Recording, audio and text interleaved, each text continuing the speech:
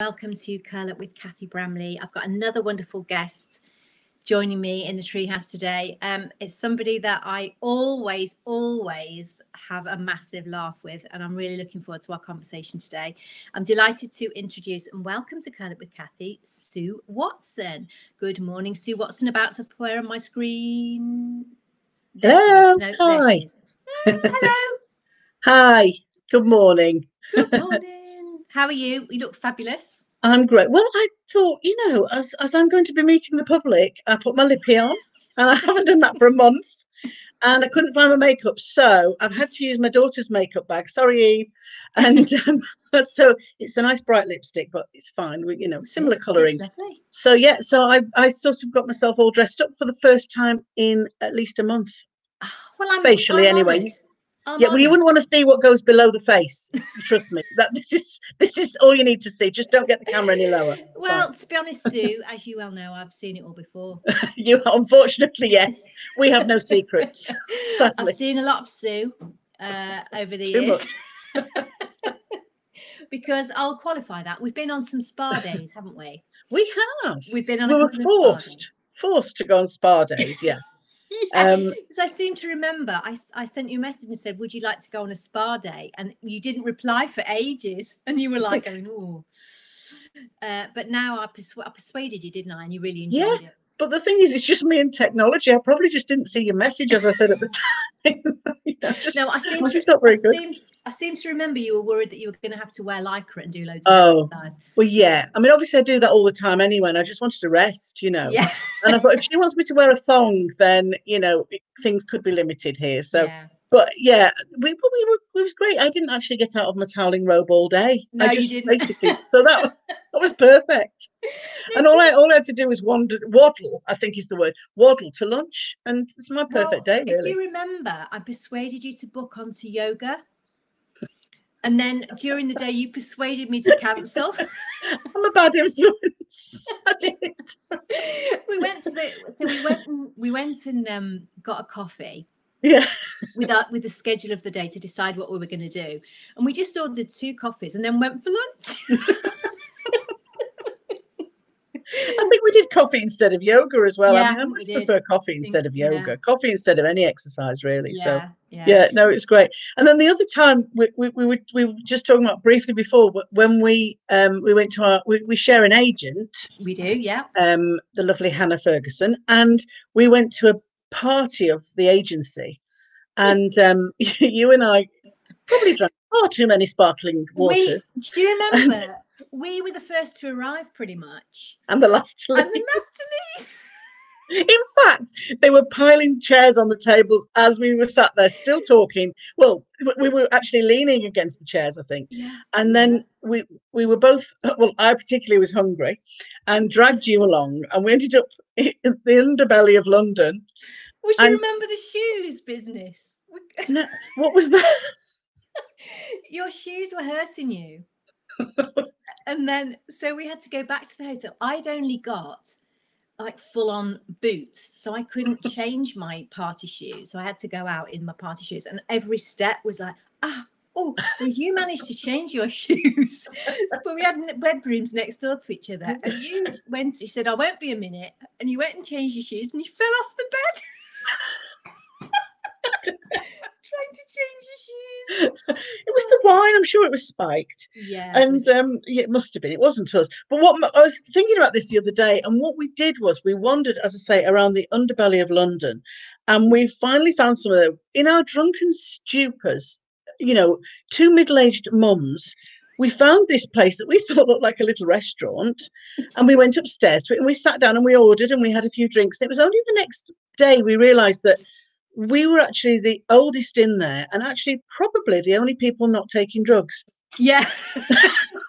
we ordered like um we wanted something like chicken and chips. We, we, we thought we were in Nando's, didn't we? But yeah, we, we tried to order these chicken wraps and then and we ordered side orders of fries and with a glass of wine each. Yeah. Some bizarre like after midnight. And and she Again, said like size? two middle-aged mums. And we said large and then the food came and they never did bring the fries. You remember? No, they didn't. I, I well, it still hurts today. That yeah, me. Still, I, I won't forget that. no. Yeah, but it was so funny. And then we'd got grand plans to go for breakfast the next morning, hadn't we? But we had such bad hangovers. We ended up staggering to the station, just lying in Costa, didn't we? yeah. On our cases. yeah. Must do it again. good We must do it again. Yeah. Good times. That was that was great fun. And then we we sat next to each other in Bewdley, didn't we? We went to Yeah, it the was a literary Bewdley- festival. Yeah, the literary festival there, which was lovely. It was great. Yeah, we did. Yeah. Yeah. And I can't remember who did we It see? was Katie Fforde and Jo Ford. Thomas. That's right. Oh, they were great. Yeah, yeah, yeah. It was it was lovely. Yeah. And- And I was writing chick lit at the time, so it was really kind of like, as as all of us still do, really looking up to Katie Fforde as this kind of goddess of of uh, female fiction. I mean, she was fantastic, wasn't she? yeah. She was. She was really great. And Yeah. I got her to dedicate. I wrote. I bought books to give to friends, and um, Yeah. I got her to dedicate my book to um, to the Bricklicker, who's that's the nickname of one of my good friends. And Yeah. she didn't bat an eyelid. She said, "To the Bricklicker." Lots of love, Katie. Didn't even ask. yeah. Okay. Yeah. Uh, so yeah, I love Katie Fforde. Love Yeah, Katie Fforde. lovely. But yeah. yeah. so you were at the time we we met. You were originally writing rom coms, weren't you? yeah, yeah. you've, you've got you've gone over to the dark side, haven't you? I have about 18 months ago. I'd written, I'd written 11. I was work, trying to work this out. I'd written 11 books, all rom coms, really. And, you know, I just, I got to the stage where I was really, I loved doing them, but I just wanted a challenge. really. I wanted to do something a little bit different. And um, I read thrillers. I've always read thrillers. I, I don't really read an awful lot of chick lit and rom com, and I don't, I don't read an awful lot of rom coms. So I thought I'll have a go. And I'm with Bookouture um, publisher, and they they were really really good actually. And I sort of said, look, this is what I really want to do, and they said, okay, we'll have a go then. Um, and my editor was great, and I wrote a, a, a first draft, and it just seemed to flow. It seemed to work, and it and it was easier than I thought it was going. No, sounds. But I think one thing my husband said was, you've read so many thrillers over the years it, it must have been itching to come out all these all this time and that first one was just it, it I wrote it really easily i mean after that it, it's harder but you i always think your first book of a genre can be quite easy because all your ideas go into it and all your thoughts and all your plans and it kind of speaks to you but after that it gets a bit harder i think you know that's that's my yeah, I've experience never anyway. I've never been tempted to write in another genre, but what strikes no, what strikes me is like the first major stumbling block for me would be like I would open a scene, you know, open chapter one, and yeah all all my natural sort of light-hearted humor would want to come out. And you're very Yeah. similar. I mean, we both Yeah. share a sense of humor, don't we? we do um how did you rein that or were you did you have to be aware of reining it in or how did it work Yeah, it's to be honest, it's really funny you say that because even in the my most recent book, which I've which is out next week, that uh, the sister-in-law, oh let's show My- that one to everyone my uh, yeah, yeah, the sister-in-law that's out on Thursday. Even in that one, um, which is like my fourth thriller now, and I'm well into the sort of the way it works, and I feel very much um you know uh, what's the word sort of entrenched really in the in the in a good way in the thriller genre i don't feel uh, like i'm slipping over and yet my editor will say this is a little bit too comedic you know you, you this line you've written here is too funny you can't have that in a thriller. Yeah. So it's and she's right she's absolutely right it ta- takes the tension away because suddenly it's you're laughing. So it is Mm, hard and i think your natural voice i- you know does come through. Um in my first thriller um our little lies one or two people have said to me oh i can tell it's your humor and i wasn't even aware there was a lot of humor in that because Mm. it's very dark but it's dark humor and i suppose mm, there's that so no in answer to your question it, it isn't easy and i do miss it i do miss the humor i have to say I- Mhm. I, i'm tempted sometimes to put things in but i think no you know so i know what Mhm. you're saying you know when when that's your thing you kind of mm, it's, it's it's part of who you are isn't it really mm. yeah yeah it is Yeah. very much so for me yeah yeah first time I, that first time i ever wrote a book i had no idea about i didn't think about genre i just was thinking story me too yeah um, yeah and I started writing something quite dark and serious. Oh, and, really? Yeah, and it just didn't work for me at all. Um, I just, it, I just, I, I knew, I knew I needed to do something more lighthearted, so that's how it, where I ended up. But now, knowing how writing works and the process. I I could probably do it, but I, Yeah. I don't have any inclination at the moment. I'm still Yeah, I think I think still got- writing a book is writing a book, and I think if you, as you you've written many, and you're an experienced writer, you could probably turn your hand to most genres, as I think probably a lot of writers could. But it's whether you want to really, and if you don't feel that, then you Mm, won't enjoy it. And mm, I think that's part of it, isn't it? Really. mm. Um, and Let's, let's sorry, talk about the sorry. Let's talk about the sister-in-law. Can you tell us what the um, premise is?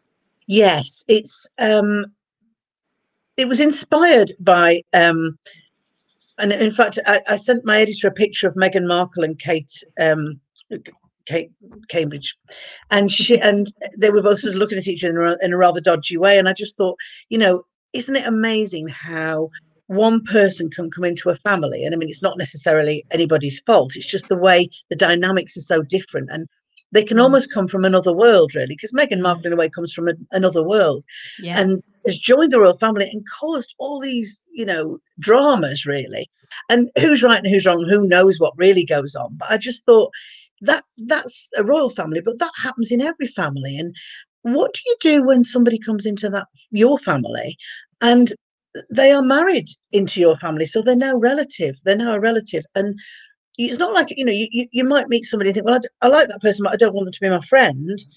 But when they're married into your family, you have no choice and you're with them for life. So, and what Mm, if that person you bothers you and you perhaps don't trust them and you're not sure what their motives are?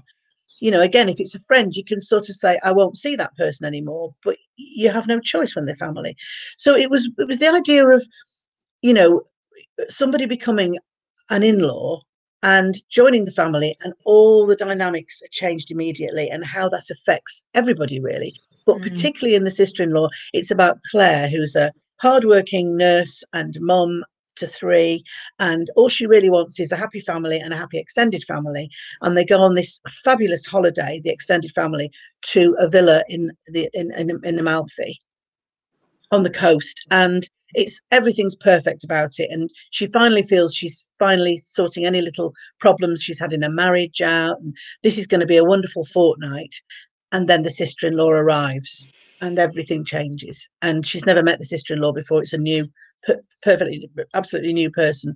And it's how that completely throws the holiday and it really is a, becomes a holiday in hell.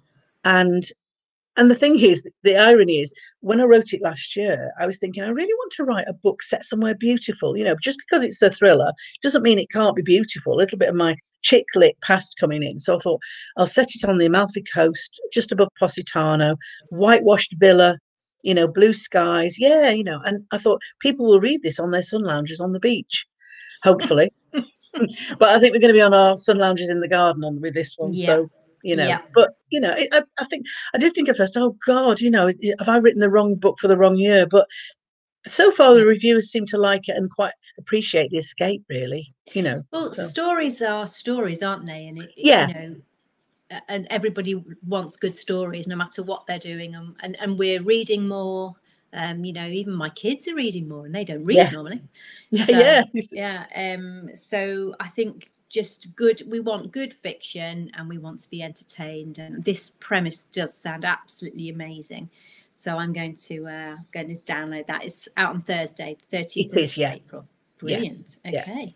Yeah, Okay. so we're going to celebrate in lockdown, Uh, and the thing is, again, it's it's nicer in a way for me because normally I'm on. It's a weekday, my publication day. I'm on my own. My friends, my, my two sort of best friends, always have a Wednesday off, and my publication day is always on a Thursday. So we always have the day before, but on the actual day, I'm usually on my own, and people go, "Oh, I bet you're celebrating." I have to wait till Nick gets home from work, or you know, yeah.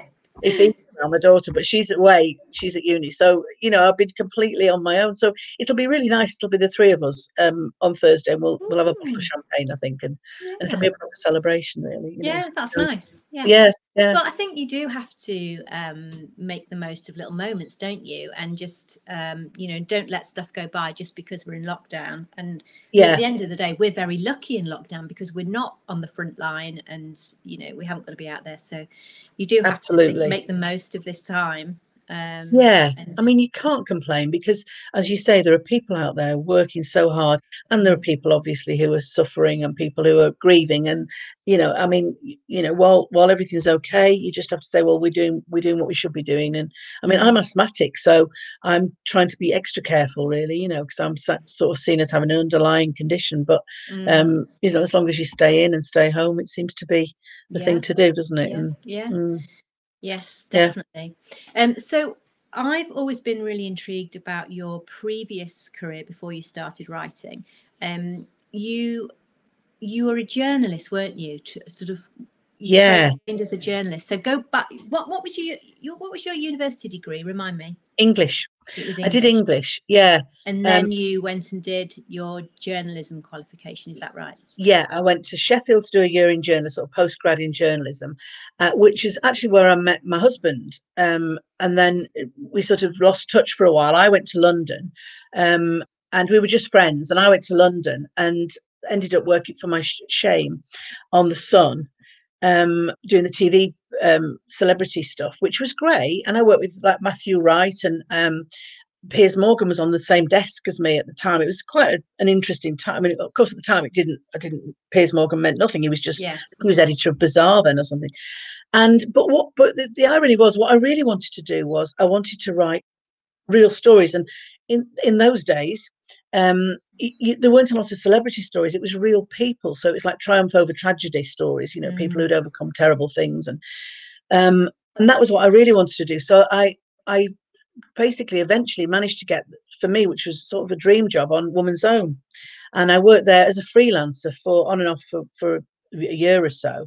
But by then, I'd got really friendly with my husband, and he was in the Midlands, and he worked on newspapers in the Midlands, and he he, he then got a job at the BBC, and I, I decided to leave, and we got married, and I ended up in the Midlands, and um, a friend of mine told me about a job going at the BBC, and I ended up at, at the BBC at Pebble Mill, the old Pebble Mill, Mm. and had a wonderful sort of 15 years there. I, I, I think it was about, and I left um, probably just after about my second book came out. I, I left because I, I realised I could probably cope, and um, it was a fantastic time. I was the editor, uh, the um, producer and director of Points of View with Terry Wogan, and oh wow. yeah, I worked with oh, I worked with uh, Nadia Sawalha, lots of daytime stuff I did because I liked all that. Sophie Grigson, the chef, Ainsley yeah. Harriott, worked on cookery programs.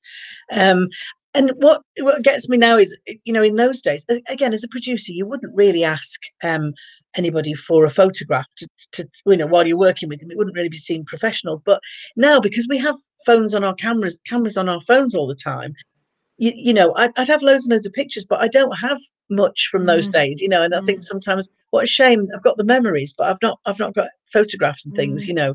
Yeah. Um, but we did have, we had a wonderful. Uh, the BBC was a fantastic place to work, and my husband's still there. Um, and um, he's, but he's more news, and you know, um, we're quite different, really. And he always says, you know, it's like Panorama meets Absolutely Fabulous. Um, and he doesn't quite get me sometimes, and I don't quite get him. But we're still together for 25 years, so it, it's we're obviously somewhere along the way. We must quite like each other, I think. Yeah, yeah. So I remember you went off on holiday last year, didn't you, to Canada? And Yeah. You bumped into somebody that your your claim to fame here. Shall, shall I bring them up? Shall Oh yes, everyone? bring them up. Yeah, if, if anybody remembers them really, because they're, they're actually huge in Canada now. Um, but I worked initially with them. I was the first person to work with them. Really, I, I sort of uh, we I was working on a program called Real is Rooms. This is Colin and Justin. Yeah. Colin and Justin. Yeah, the, the interior designers. And I was working on a program called Real Rooms, which was a daytime makeover program, and it was on the BBC. And um, I rang I rang around to try and find some presenters. We needed some. We needed a presenter, and I, I contacted. I think it was Living Etc. And they said, "Well, we we don't have one person, but we do have two, and we call them the boys, and we love them, and you know they'd make great presenters." And so I phoned them, and well, the rest is history, really, because they then did Real Rooms, and they went on to do the Million Pound Property Experiment, which I worked on initially. Um, I worked on the idea. Had the Um, book for that. yeah, did you really? Yeah, yeah. Was it something you're interested in? That? Yeah, we did a bit of property development. We were Oh, all into the Sarah Beeny programs and all of that. We watched It them was- all. It was huge then, wasn't Yeah, it? It was yeah. really big. Yeah. Yeah. and they they are really talented, really talented. And so now they've they've moved to Canada, and they're absolutely huge in Canada, and they've got this amazing apartment which overlooks the Rogers Centre, which is the baseball, and next to the CN Tower. And my husband's really into baseball, so he was just beside himself. So I dragged him along, and um, to, to Canada. And um, when we when we were there, we were sitting in, in the in the baseball stadium, and they contacted us and said, "We've just seen on Facebook that you're in Canada. Why are you not coming to see us?" Well, I didn't know where they were because they've also got um, a, a, sort of cottage out in uh, uh, the countryside in a place I think it's called Long Island in Canada, and they do um, a program called Cabin Fever where they do cabins, and they've they've got this new program um, out now where they're actually doing over a beautiful sort of country retreat. Um, so anyway, we went there to see them to their to their. I see your doggy's joined you. Yeah. Um. Oh. Hello. um, and uh, and we went to see them, and we we went out for dinner with them, and we just had the best time ever. And you know, Nick absolutely loved them, and they they they put a message on Facebook and said, um, you know, we saw Sue and her awesome hubs, and now Nick's known as the awesome hubs. Yeah. he loves that. He loved being called the yeah. awesome hub. So we, had, we had a great night and it was just brilliant. And, and, the memories, you know, of starting up a program from the beginning and, you know, the, all the problems and all the, the fun you have, you know, it's, it, it was a very special time really at the BBC. Yeah, there was, yeah. you know, I did a lot of starting, start, set up a lot of programs from the beginning as a, as a producer and assistant producer. And it was great fun. And, you know, you met all these mm. people on the way up really. And, you know, mm. it, was, it mm. was wonderful. Yeah. Mm so yeah, so that was Canada last year, and we were hoping to go again this year and perhaps go to a different part. But of course, that's not going to happen. But we did fall in love with Canada. It was it was amazing, you know. Yeah. And I'd like to set a book there, you know, mm. at some point. I really would. Yeah. Um, but who knows whether we'll ever get out again, out of yeah. the house again. yeah. Well, everybody, I I'm um, I'm really excited about the sister-in-law. I'm going to tell everybody to go out and buy it, and I'm going to get you. it downloaded to my Kindle. Thank and start reading it as soon as I can because it sounds really good. Because the last one that you did, I think it was the last one, I was too scared to. It was bad. I bought it and then I realised what the what this. I'm not going to talk about it now. It, well, I, it was about um, a student, wasn't it? Somebody that's yeah, the empty nest. Yeah, the empty nest, and it was, and it's yeah. basically based on my fears, my irrational fears when my daughter went away to university, and it was like every everything you dread, really. But, but you know, it's um, it, it, did quite well. So I think people liked it, if you can use that word. But uh, yeah. yeah. it was pretty traumatic. Yeah. Yeah. Yeah. Well, I've got my youngest starting university in September, and my yeah. oldest going into first year. I mean third year. So uh, no. I'm going to give it a miss for a couple of wait years. until they wait until they're both clear of university. And I, I could only write it when Eve was in a third year, and I knew yeah. she was on her way to, to leaving. So yeah, mm. yeah. Wait till they've gone. yeah. All right. Well, listen, Sue. Lovely to talk to you. Best lovely to luck. see you. And, yeah. and yeah, and let's hope we can perhaps troll the underbelly of London again sometime. yes. and find that drugs den, that drugs den that serves chicken wraps. yeah, and it wasn't there a, there was a pub as well that we thought was a really funny name, so we t- took pictures of that. Do you remember? Oh, we did. I yeah, can't remember what it's called. Remember what it's called, but it was probably not funny at all. But... Probably not. I think everything was funny that night, but the next day it wasn't that funny, Especially was your feet. Your feet were very funny. That was very... They anyway, always are. Thanks, Sue. Thanks. Lovely to see you, darling. see you soon. Bye. Bye. Kisses from me and Pearl. Bye. Bye, Pearl. Bye. oh, Sue Watson there. And as you can see, Pearl joined me. She's very hot, as you can see, she's panting away there. Thanks so much for joining me, and I'll be back very soon with more of your favourite authors. Bye for now.